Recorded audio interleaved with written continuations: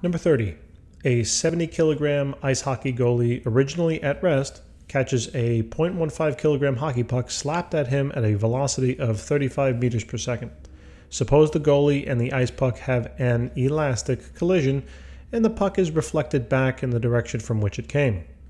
What would their final velocities be in this case? All right, so first thing is we're dealing with an elastic collision and they're telling us, right, velocities and masses. So what I'm thinking about is I'm thinking about using, right, momentum, uh, my cons conservation of momentum uh, equation, right, and that is simply that the momentum, I'll denote that as P, right, the momentum initially will equal the momentum finally. Okay, so now let's expand on both. So the initial momentum in the problem will be consistent upon both objects, both the uh, goalie and the puck. So here I have a nice little picture. All right. So basically I can write, and by the way, let me put some numbers in here. I'll call the goalie, you know, object one and the uh, puck object two. So therefore the momentum of the goalie will be equal to the mass of that goalie.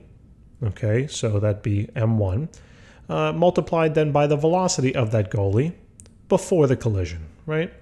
Or initially, okay? Actually, what I'll do is because it might get a little confusing with the eyes, oops, and the uh, uh, ones, let me just do this, that the momentum before the collision equals the momentum after, okay? So this is going to be before the collision. Then that will be added to the mass of the second object, which is the hockey puck, multiplied by the velocity of that second object before the collision and that will then equal the mass of that person, right, of the goalie, uh, after the collision multiplied by the velocity after the collision, plus the mass of then the hockey puck, right, multiplied by the velocity of the hockey puck after the collision. So let's just take a step back and see what we know.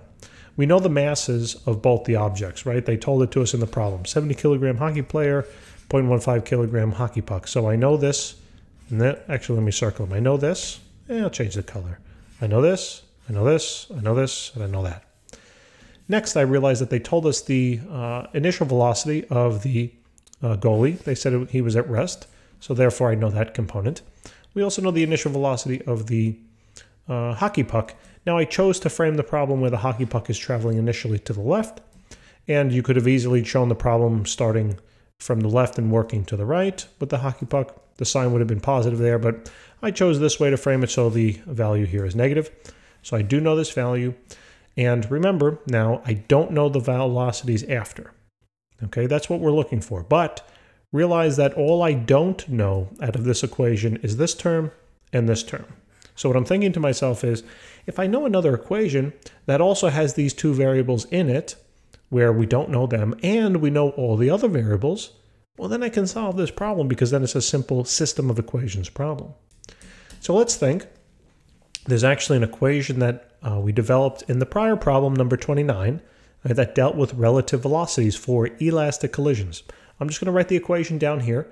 If you're curious as to how it came about, please view uh, question number 29.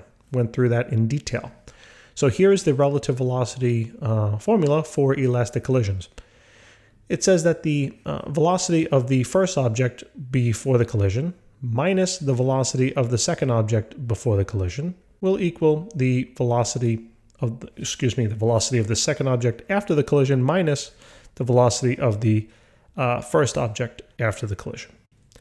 All right, so now uh, here again, and once again, this is only for elastic collisions, and this is the relative velocity formula that we derived in the prior question. Now, what I realize here is that we know the velocities before right, the collision happened. We know the initial the initial velocity essentially, right? The velocity before the collision occurred of the hockey player. And we also know the uh, velocity of the puck before the collision, and we don't know these two terms. So here we go. We now have two equations, right? We have this equation, okay, and we have this equation, and we have two unknowns. So now this is just easy peasy stuff in terms of how to do, you know, how to solve this. We have to solve one of the equations for one of the variables and then plug it into the other. Okay, so How do we want to do that? Um, I mean, there's a couple of ways you can do the algebra here, but I think the easiest way might be uh, to, let's say, solve this equation for, you know, V2A, let's call it. All right. Now, when I do that, right, all I have to do is add this term. All I have to do is add this term on over to the left, right? So basically, my new equation will become V2A equals, uh, I'll write this first, V1A plus V1B, okay, minus V2B. All right, now what I'm going to do here is, since I have this equation in terms of V2A, what I simply do is I take this and I plug it on in for that variable there. Okay, now let me rewrite the momentum equation here. So it's now going to look like M1 V1B, and let me make the B a little neater, plus M2 V2B will equal M1 V1A plus M2 V, well, no more V2A, right? Now we're going to plug in this term. We have V1A plus V1B minus V2B. Okay. Now what's very nice is that, remember, I now only have one variable I don't know. The only variable we don't know is the the velocity after the collision of the person, right, or the hockey player. All right, we know everything else in this equation.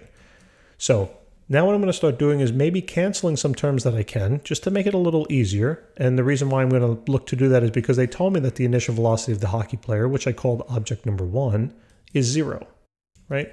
So anywhere where I have v1b, right, the velocity of the hockey player before the collision, I know that whole term will be zero.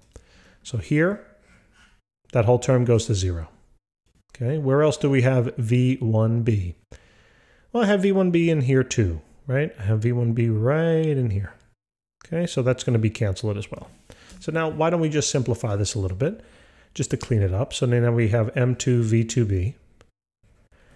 All right, will equal M1 V1A plus M2 multiplied by V1A minus V2B. Okay, so now from here, remember the whole goal is again to solve for this variable. All right, so what I'm probably going to do next is I'm going to look to distribute the M2 to both terms. All right, so that now I can start combining then the V1As. All right, so let's do that. So now we have M2 V2B will equal M1 V1A plus M2 V1A minus M2 V2B. Okay. So now from here, right, what do we what do we see we have? Well, we have a couple of things. Okay. I notice that here I have a common variable, right, the V1As. And I also notice that these two terms are the exact same thing. Okay, so now I'm going to look to combine like terms, try to get this a little more simplified. Okay, so first thing I'll do is I'll add this term on over to the left-hand side. And notice since you're adding the same term right to each other, you can simply rewrite that as 2 M2V2B, right? Because there's two of them. Okay, so it's really two times that. Okay, that will then equal M1, or let me actually pull out. So now what I'm going to do is I'm going to pull out the common term. Okay, so we got V1A times M1 plus M2. Okay, and guess what now? Remember, the whole goal is to solve for V1A. What do I need to do? I can now divide this term on out, right? I divide it from the right-hand side over here, and then I divide it from the left-hand side. Okay, I know I'm running out of space, but I think you guys can see that. So what I'm going to do is I'm just going to rewrite that over here on the, I'll do it on the right-hand side. Okay, and put a little, little slanted divider here, just so we don't confuse the work. And I'll also put this up here. So now we have 2 m2 v2b, okay, divided by m1 plus m2 equals v1a. Isn't that beautiful? Look at that. That whole mess worked down to this thing. Right? And now all we need to do is just plug in the numbers, right? And we'll be able to solve it, not a problem. Okay, so let's do it. So we got 2 times the mass of the second object, and the second object we call the hockey puck, right? So that's going to be 0.150 multiplied by the velocity of that second object before the collision. Now make sure you've got to plug in that negative sign, okay? So it's going to be negative 35.0, all divided by m1, so the mass of the first object, right, which was 70 kilograms, uh, 0.0, it doesn't really matter though, but, and then add that to, or add to that, uh, the mass of the hockey puck, which was 0.150. And now that will equal V1A, okay? In other words, that will equal the uh, velocity after the collision of the first object, aka the uh, hockey player. Now, if you just think about this, right? If the hockey player is stationary and the puck is traveling this way and it collides with him, what do you think, what direction do you think the hockey player's velocity is going to be after the collision? It should be pointing to the left, right? And therefore, we should expect to get a negative value. All right, so let's see if it works out. So let's do the math. So we got 2 times 0.15 times negative 35, all divided by, put your parentheses, 70 plus 0.15. And there we go. Look at that. And now how many sig figs? Eh, I guess I'll keep it at 3. Okay, so that will equal, um, and I'm going to write it, so V1A. And let me just write it right beneath this, okay? So now we get a negative 0.14, well, really 150, right, if we consider rounding. 150 and that will equal V1A. V1A. All right, so let me box that answer. So there it is, and that's what we expected, right? We expected it to be negative. And if you think about the difference in the masses here, you know, between the you know, the puck and the and the hockey player, we should expect his final velocity or after the collision to be definitely pointing to the left, but not that much, right? And that's kind of what we see over here. So it sounds good to me. So that took care of V1A, right? And then what do we need to do? Well, now all we need to do is plug V1A back on in. It almost looks like I'm looking at it right now. It looks like VIA at the bottom, but that's a 1. Um, we got to now plug that back in. And I think the easiest equation to plug that back into is this relative velocity equation at the top. Okay, so what I'm going to do is uh, let me rewrite that over here on the left-hand side. So we got V1B minus V2B okay, equals V2A minus V1A. Now remember, I know this term, and I know this term, and I know this term, so now I'm looking for the velocity of the hockey puck, right? So I'd, all, all I'd have to do is add this term on over, correct, to the left-hand side. Okay, so now we have a, an equation that looks like this. V1A, V1A plus V1B minus V2B is equal to V2A. And now all we do is plug it in. Okay, so V1A is what we just found over here. Make sure you plug in the sign, negative 0.150, plus V1B, remember 1 was the hockey player, and that's before the collision, it was 0, right? So this whole term just canceled out. And then minus now, now here's the trick, okay? So now it says specifically, oh, let me leave that, uh, let me leave that slash there. Okay, now it says minus now V2B. Now just be careful with the signs. So I probably shouldn't have written that plus sign in yet all right, because I I, I canceled out the, um, the V1B before. So now it's going to be minus V2B. Okay, so it's minus now. What's the value of the velocity of the hockey puck before the collision? It's a negative value. Okay, so that should be negative 35.0. Okay, and now that will equal V2A. So now all we need to do is simply just calculate. Okay, just plug it on into the calculator. So since I'm running out of a little space here, let's just move this on over a little bit. Isn't that magical? So now, well, let's just plug it in. All right, so we have negative 0.15, negative 0.15, plus, right, because it's a, a double negative. So it's going to now be plus the 35. So this will be now the, and this is the value for the hockey puck after the collision.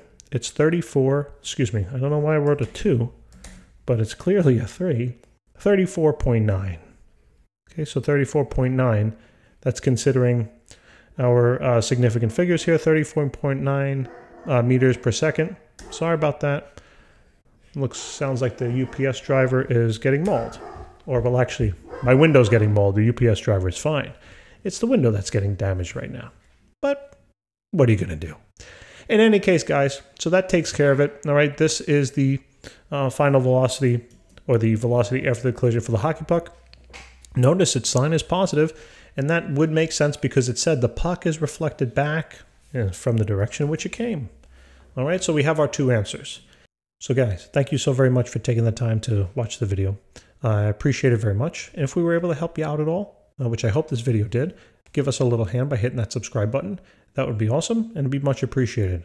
And I look forward to helping you with the next question. Take care.